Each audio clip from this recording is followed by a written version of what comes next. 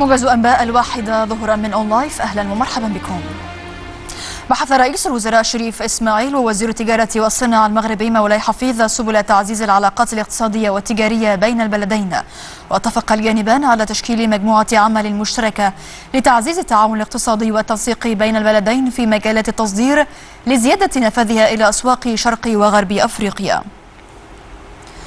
استقبل وزير الخارجية سامح شكري مساعد سكرتير عام الأمم المتحدة والمدير التنفيذي للمديرية التنفيذية للجنة مكافحة الإرهاب جنبو لابورد حيث استعرض شكري مع لابورد مجهودات مصر في مكافحة الإرهاب الدولي كما تناول آخر مستجدات الأزمة القطرية مجددا التأكيد على المطالب التي تم تقديمها إلى الجانب القطري كشرط أساسي لاستئناف العلاقات مع قطر. نهاية المجز إلى اللقاء.